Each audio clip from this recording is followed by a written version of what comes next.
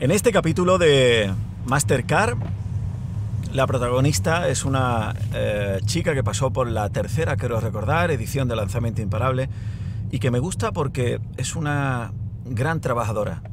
Le dedica mucho a su proyecto musical, es prioridad y eso de verdad es una de las primeras claves que, que tiene que tener alguien que desee vivir de la música en los tiempos que corren. Eh, ella es eh, Irene Zugaza, es una chica que toca la viola y que canta del norte de España, pero vive en el sur, donde quiere nutrirse y ya lo está haciendo de, la cultura musical que hay aquí en esta tierra. Estamos en Sevilla, en el arco de la Macarena y eh, la gran Irene Zugaza tiene que estar por aquí. Así que vamos a ver. Mira, eh, por ahí la veo. Ahí está.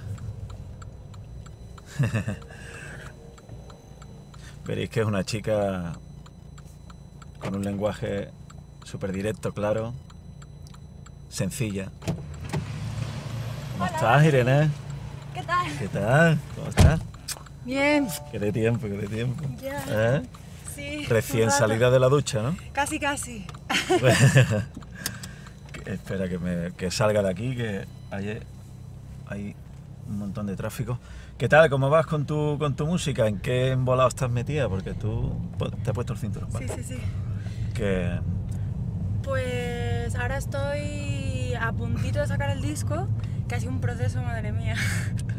De- bueno, sí, llevas tiempo currándotelo. Sí, sí. Lo que pasa es que yo pensaba haberlo sacado mucho antes y tú sabes, entre que realmente se tarda, cuando lo haces tú todo, se tarda mucho más y entre que yo soy súper perfeccionista, ¿sabes? Y es regrabar, regrabar, tú sabes, eso no me ha gustado, lo vuelvo a cambiar, Ya. tal. Y en medio pues me han salido cosas, me he ido de gira, no sé qué, entonces pues al final ha sido un proceso muy largo, ¿no? Pero ya está, ya está, ya lo, ya tengo el máster, el DDP, ya lo he mandado, ya está todo, el arte de portada, todo. Y se supone que en tres semanas tengo ya lo que es el disco físico y en digital lo sacaré un poquito después, no mucho después, pero tres semanas o dos. Porque como hice un crowdfunding en verano, quiero antes dar las Ah, recompensas. Pero este a- ya es. Ah, no, este es el primer primero. crowdfunding que hiciste que superaste la- las Sí. expectativas. Estupendo. Sí, sí, fue bien, la verdad. Yo tenía ahí mi miedito, Sí, pero ¿no? salió bien. A la mitad del tiempo ya había, ya había conseguido el. ¿Y cómo tienes pensado lanzar eh, este disco? ¿Tienes ahí más o menos eh, ya estructurada o pensada la estrategia? ¿Cómo lo vas a hacer? Más o menos. Hombre, entiendo que vas a ir single a single, eso está claro. Bueno, sí. ¿Vas que- a hacer algún tipo de presentación? Em, s- ten- a ver, tengo varias ideas, pero más que single a single, como yo ya el año pasado saqué varios sencillos que están en el disco y ahora viene Ah, todo, vale, vale. Más bien ahora es como... voy- mi idea es, igual que saqué el de Caminamos Juntas, que fue bastante bien, que hice Sí. primero como un teaser, eh, saqué el videoclip y el tema al mismo tiempo, pues hacer algo parecido eh, con uno de los temas del disco, que todavía no he, sac- no he sacado en sencillo nunca, eh, hacer un videoclip, que lo vamos a hacer ahora en un par de semanas, eh, sacarlo al mismo tiempo que el disco como presentación Vale. y pues antes, a lo mejor 10 días antes, a sacar el teaser, digamos, del videoclip. Y mm, mi idea un poco, más que hacer presentación ahora, que yo sé que es lo, lo lógico, Bueno, normal, pero. yo como, como ahora el verano pasado me salió me salieron bastantes conciertos como gira de conciertos en España en Alemania Bélgica no sé qué un poco mi idea era como eh, juntar otra vez varios conciertos y hacer gira en verano de presentación del disco Ah, qué bueno. es un poco la Sí, donde entiendo que ya puedes vender también tu CD ahí con tu Eso es. público, que, que es un poco, ¿no? El- Eso es. Y aparte hice con el crowdfunding hice merchandising también, que ya lo tengo. Entonces pues la idea también es venderlo en la gira y demás. Claro. Que además del merchandising estoy súper contenta porque ha quedado súper chulo. Sí. Sí, me hizo el diseño una chavalita que, que pinta y hicimos chapitas, mira pues estas. A ver. Ah, qué chula. Caminamos juntas. Camina, claro, caminamos juntas y fuertes y guerreras, que es como el principio Sí, del porque tú, de- o sea, hay una cosa que me gusta de ti, es que tú tienes muy claro cuál es la esencia de tu, de tu proyecto, o, de- o como diría un experto en marketing, la misión, ¿no? Y tú, quieres, tú tienes un mensaje muy claro, ¿no? Sobre la igualdad, eh, el feminismo, eh, entiéndase bien desde el punto de vista, ¿sabes? Sin, sin, sin energía tóxica por ningún lado. No, no. Y eres una auténtica luchadora. Eh, y eso lo impregnas en tus canciones, ¿no? Bueno, y en tus redes sociales, donde la gente te adora porque eres una persona que cuando te tienes que mojar, te mojas, cuando tienes que. Eso, te- tienes que recriminar algo que, que no te gusta o que tenga que ver con el día a día, lo haces y me parece fantástico, igual que hizo Mon ¿no? Cuando en, la en la alfombra roja de los Grammy se sacó los pechos y esa foto dio la vuelta al mundo. Mon Laferte es una, de las artistas más importantes de, de- de América Latina, po- posiblemente la más potente que hay en Chile. Y todos los artistas más gordos esa foto la compartieron porque era una denuncia hacia lo- la injusticia de lo que estaba pasando en Chile con los políticos y, Claro. y- y todas las re- rebeldías. la- Entonces, bueno, cambiando un poco de tema, Irene, vamos a aprovechar estos minutillos. Si tienes ah, alguna duda, dime en qué te puedo ahí ayudar, que seguro que tienes algunas cosillas a lo mejor que necesites limar de tu... Sí, a ver. em, eh, a ver, yo el tema que tengo ahora en la cabeza un poco Sí. es. eh, yo me trabajé un montón en las redes sociales durante un año y medio por lo menos, estuve súper a pie de cañón. Y ahora, em, del verano a esta parte, como que me he ido desligando un poco. em, que me ha venido bien, no te creas, ¿eh? Me Ajá. ha venido bien porque yo siento que desgastan mucho también las redes. Sí. Eh, no en plan indefinido, sino en plan una temporada quiero estar un poco más Sí. enfocada en mis cosas y no tanto en Sí. las redes, porque las redes quieras que no, es el momento de subir, pero luego es estar pendiente también, ¿no?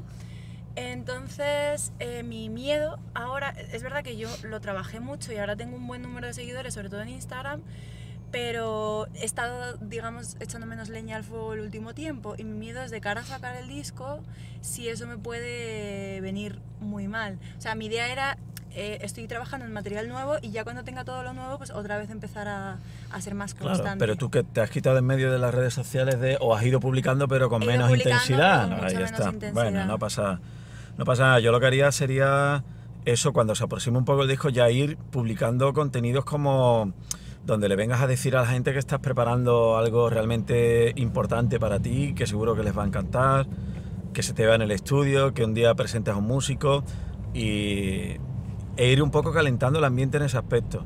Después no estaría de más ir metiéndole a la gente todos esos singles que has lanzado, pero en un formato, eso en un formato acústico. Bueno, tú ya es- esos vídeos los estás haciendo, pues yo los, Sí, los he visto, sí. esos vídeos, ¿no? Donde se ve a, Irene Zugaza cercana, con tus oh, músicos eh, y demás. Mira, ayer hablé con un chico que tiene una empresa en Madrid audiovisual, interesantísima, que graba eh, él ofrece en una nave, o sea, el grabar un concierto en un sitio chulo, todo eso es- lo ponen ellos, en, un formato donde el, el artista está en el centro y el público rodeándole. Es una especie de básico como lo que hacía antes la, la NTV, pero además a, muy buen precio, ¿no? Y con una producción de audio y sonido brutal.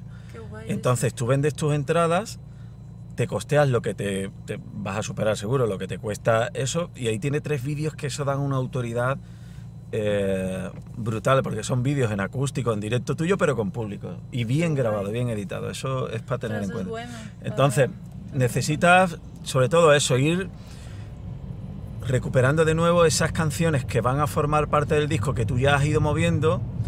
eh, Eso un poco lo había pensado, como, como se viene el 8M y mi canción más potente, la que más se movió fue la de Caminamos Juntas, que tiene este mensaje de igualdad de- Claro. y que va muy bien con el Día de la Mujer y tal.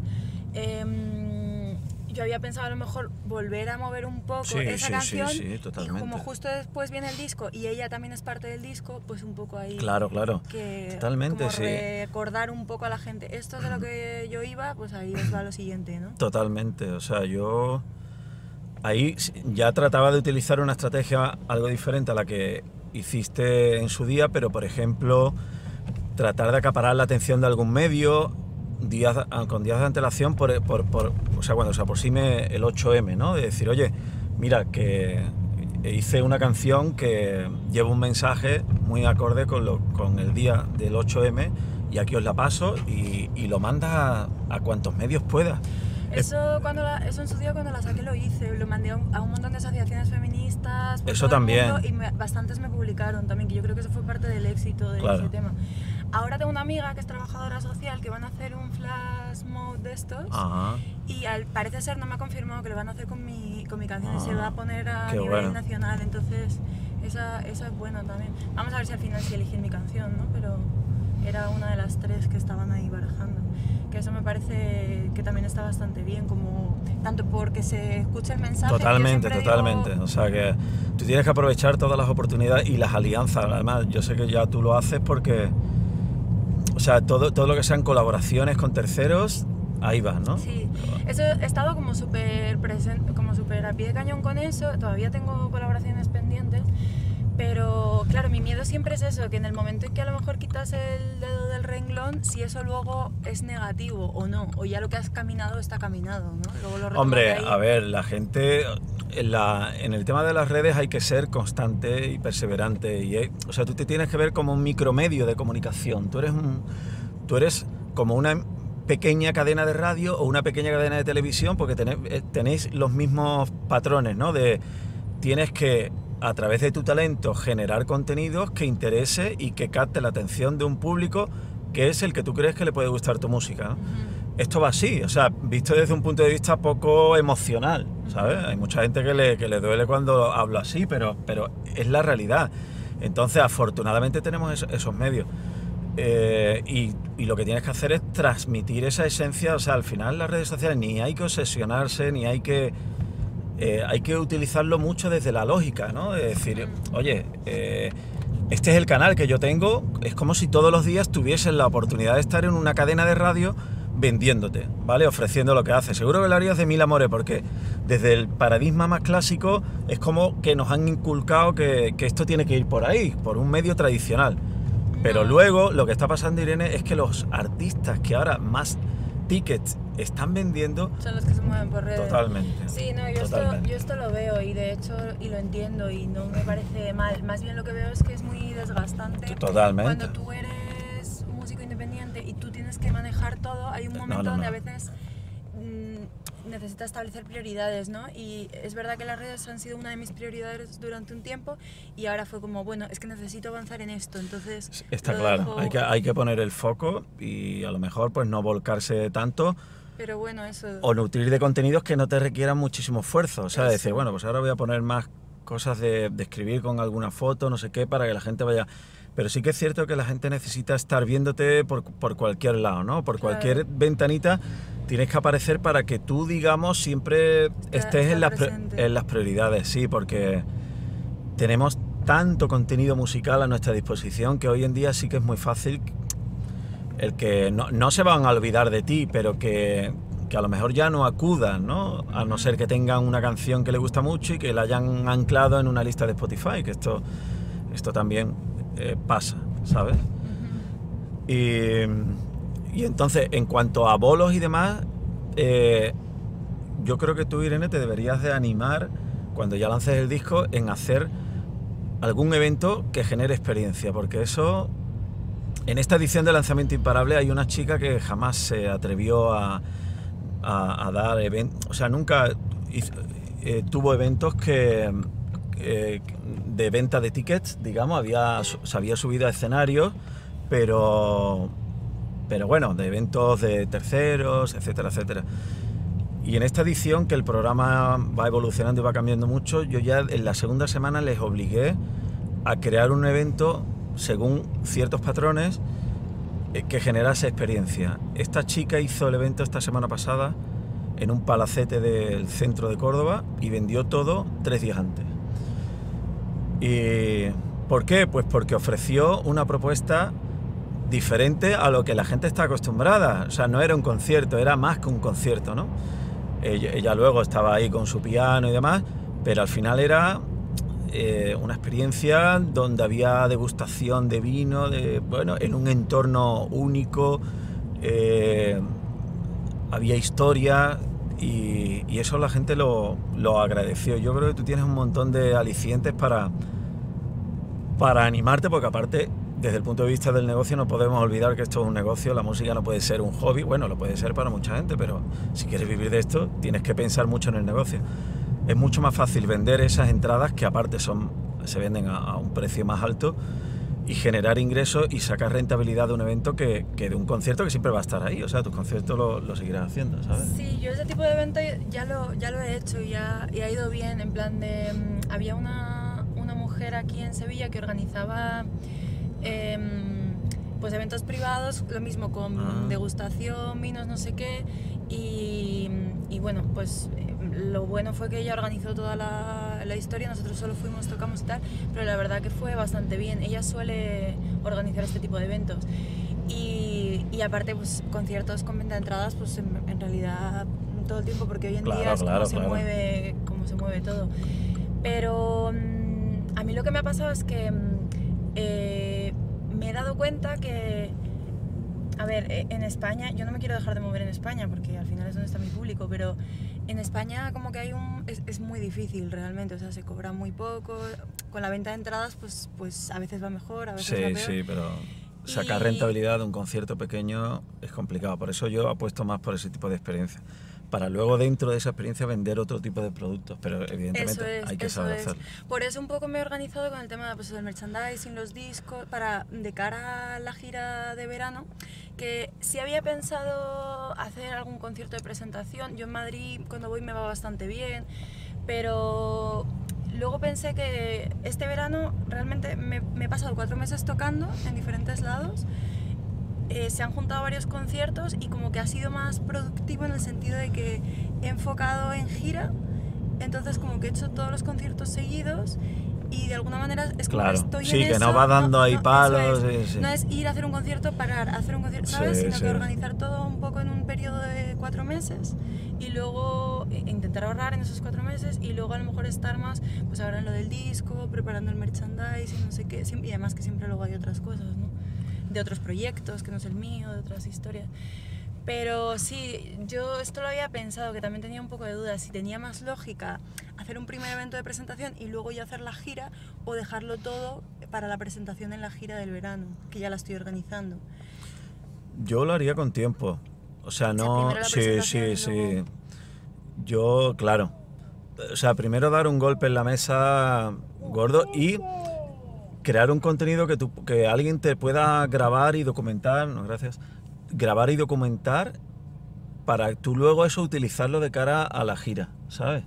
Entonces organizar algo, pero aunque sea para poco aforo, pero buscarte un sitio que no sea el ideal, no sea una sala de concierto, busca un sitio diferente. Imagínate en Sevilla, las setas arriba, yo qué sé, eh, busca en un atardecer, busca ahí un poco potenciar esa magia, ¿sabes?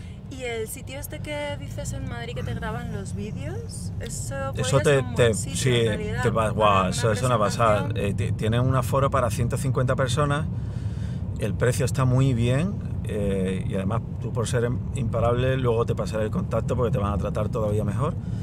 Y, y me pareció fantástico y además te pasaré un enlace para que veas los vídeos y lo pasaré también por aquí abajo para que lo vean. Lo- los vídeos que han grabado con otros artistas, me parece brutal. Es que esos son los vídeos buenos, eso vale más que 20 vídeos musicales. O sea, porque aparte el público te rodea, eh, hay una, un clima súper bonito, está súper bien, muy bien. Eh, y le di la enhorabuena. De hecho, bueno, ellos me contactaron para ver de qué manera yo les podía ayudar a trazar un plan, no sé qué, y, y terminé diciéndolo, oye, os voy a ayudar, pero, pero, o sea, para que la gente que está en mis manos sepan que existís, porque creo que, que- que es una inversión brutal lo que, lo que, lo que ofrecéis, ¿no? Pues eso, eso me ha gustado. Hay que invertir en formación, en vídeo, eh, en, en contenidos, pero en, en buenos vídeos, en vídeos donde la calidad. Bueno, tú has grabado ya con directo lavapié o con Sí, con ese DMA. ese formato de vídeos. Es lo que artistas como tú tenéis que apostar por ahí porque es donde está toda tu esencia, o sea, en, en esos planos cortos, en esas miradas, en ese primer plano del violín, de la viola, ¿sabes? Que En el que tú dices, ¿ellos suben el vídeo o te lo pasan para que tú lo subas? Eso, No eso no lo sé, pero yo creo que no, no, no. te ellos pasan, te lo pasan. Ellos, ellos no son un canal, te dan tres canciones. Guay. Porque a veces, a ver, depende del canal, te puede No, no, no, no. lo Ellos no son un canal tipo. No, no. Ellos son una productora de vídeo que da servicio de vídeo y ellos han- están reinventándose y creando, ¿sabes? Entonces, ¿y tienes alguna duda más con respecto a, a tu día a día el- en la música? Con respecto a mi día a día, uff, Mira, te digo, te digo una cosa, tú sa- sacas la viola, ¿no? Todavía en tu evento. Claro, claro, Eso es, siempre. eso es una característica más. Yo te dije, me Siempre, recuerdo más, te dije, nunca dejes la viola, que es No, algo hombre, no. que te hace especial. Sí, sí, sí. Yo es que además siempre he sido.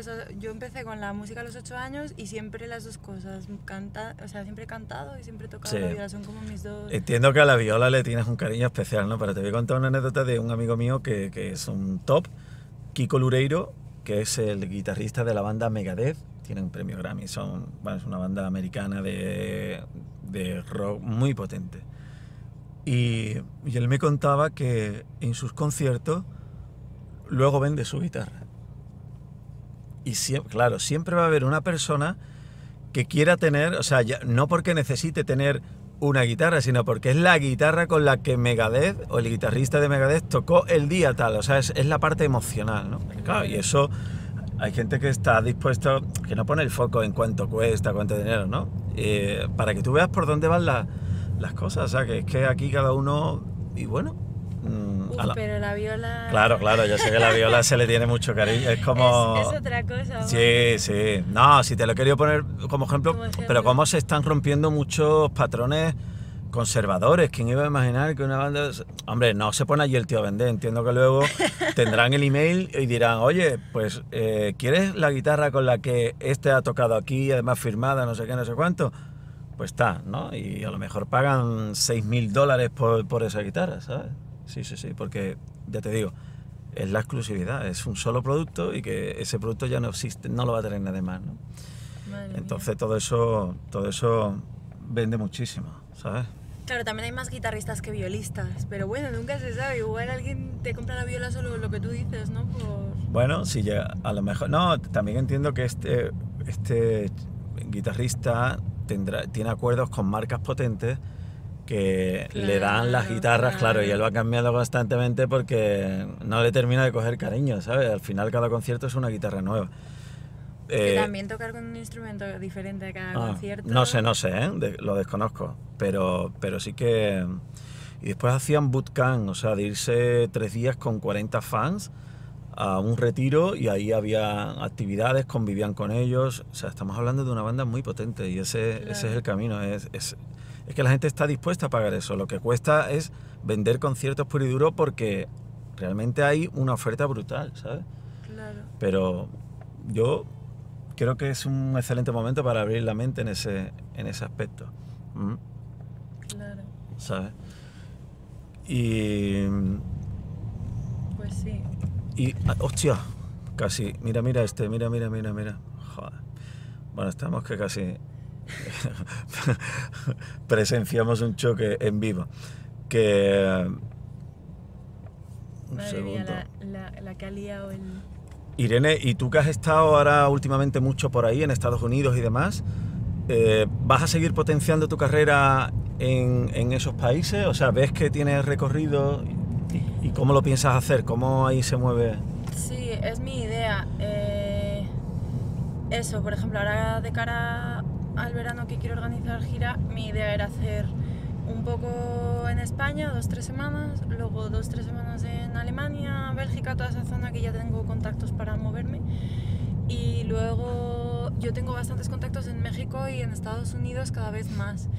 Eh, en Estados Unidos yo este año he ido a cantar flamenco, en plan tablao más que nada. Ah, Que yo lo que ¿Y lo entendían los americanos? Sí, sí, hay, Sí. Un, hay un buen círculo flamenco. qué Sobre bueno. todo hay baile, cante, la verdad que no hay mucho. Entonces, Porque en Japón sabemos ¿no? que se Sí. mueve mucho, pero... En California hay un buen círculo flamenco. Eso, sobre todo hay gente, hay guitarristas y hay bailadores que han venido aquí a estudiar y toda la cosa. Ah, Pero lo que falta más es cante. Entonces hay, hay algún que otro cantador, pero bueno, cuando llega algún cantador, eh, pues, eh, pues, pues lo aprecian, ¿no? Y, mm, y yo he ido más que nada a hacer y mi idea es eh, volver, porque además allí va bastante bien, volver a hacer más eh, flamenco y también llevar mi proyecto, o sea, como ir y compaginar las dos cosas. Por, eh, que también es una forma de abrirte camino allí, ¿sabes? Como que entras con, con algo más tradicional y luego dices, bueno, igual ellos ya vieron mis vídeos, ya vieron la- el resto de cosas que yo hago, ¿no? Aparte yo venía de hacer eh, conciertos con otro proyecto que no es el mío, pero que metimos temas míos. Sí. Hicimos una mezcla entre una amiga que es acordeonista y cantante, hace sus propios temas también, y lo mío, y hicimos una mezcla entre los dos temas a dos voces, con acordeón, viola, guitarra, y la verdad que quedó muy chulo. Y entonces, bueno, pues yo había subido varios vídeos en vivo de esto y tal, y pues bueno, ellos vieron que también yo me movía en otros ámbitos, ¿no?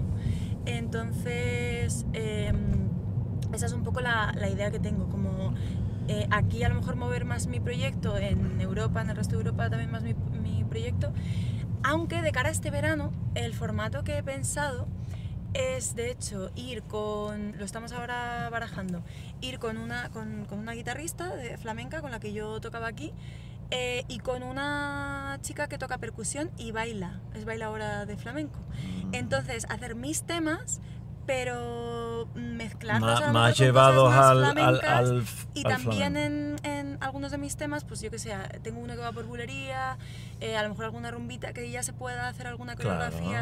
claro. eh, Bueno, mete a Alejandro Sanz, al hermano de Farruquito, en muchos de sus conciertos y, lo- y a lo mejor el tema es, es como muy pop, ¿sabes? Mm. O sea, que, que, que fantástico, todo eso, todo eso es súper enriquecedor. Y ahora se me estaba ocu- ocurriendo, digo, joder, yo veo tu música con tu rollo en, vinculado a atardeceres, ¿sabes? Que Sí, el hacerte una, o crear un concepto en base a los atardeceres, ¿no? A, a buscar sitios, evidentemente eso hay que trabajarlo bien, pero sitios donde la gente pueda estar, o sea, que tu, que tu evento comienza o termina cuando el atardecer finaliza, ¿sabes? Que, que eso, eso también suma, ¿no? Eh, El aspecto visual, el seducir por... Sí, claro. Que, pero bueno, tienes un proyecto ahí bastante, bastante chulo y además, lo decía antes de recogerte, que lo que más me gusta es que tú eres una súper currante y eso hoy en día, porque todavía hay gente que se cree que la música es coser y cantar y aquí hay que trabajar, pero vamos, si te lo quieres tomar en serio, esto no de, o sea, depende de muchos factores, ni siquiera depende de ti, pero si tú pones de tu parte, estás bien eh, formada para ello, las oportunidades pueden llegar. ¿no? Lo que no va a llegar es si te crees que esto va de, de nada, de subir o de, de hacer canciones, subirlas a tus redes, al Spotify, eso lo hace cualquiera. Lo, lo diferente es lo otro, ¿no? Es saber arriesgar también, evolucionar, avanzar, ¿sabes? Totalmente. Y que son, que son muchas partes, ¿no? Al final. Sí. Y me ha hecho gracia lo que has dicho de que la gente cree que es muy fácil. Mi padre, por ejemplo, me sigue diciendo... Que te Eh, dedicas a otra cosa. No, ah, me, bueno. dice, me dice, pero eh, esta semana componte un par de temas. De-". Y digo, papá, pero vamos a ver. ¿Te crees que esto es como.? mm, Sí, de hacer churros, ¿no? Claro, o sea, es verdad que las ideas te surgen en cualquier momento, pero hay que aterrizarlo, hay que hacerlo bien, lleva su Claro, tiempo, hay que claro, un claro. momento creativo, porque a veces no Claro, estás en claro. una fase creativa, estás en otra fase, ¿no? Entonces, como que todo lleva su Totalmente, tiempo, su dedicación, totalmente. hacer bien las cosas. Y que todo debe de ir bajo un contexto. O sea, ¿por qué ahora voy a lanzar esta canción? Porque que, que el lanzar canciones aisladas no, no es algo que te garantice. Yo creo que hay que ir más, un poquito más armado, ¿no? Esto se está poniendo de esta manera, ¿sabes? Así que, eh, bueno, te dejo aquí, Irene, que sé que tienes muchísimas cosas. Muchísimas gracias. Qué placer verte, que de tiempo. ¿eh? Somos, somos medio vecinos. Yo vivo al, fi- Ya. al final de esa calle, pero nos vemos poco. En las setas, ¿no? En las setas, en las setas. Bueno, ahí en San Román, esa calle para allá. Que, que nada, cualquier cosa sabes que aquí me tienes. ¿eh? Gracias, Placer. Dani.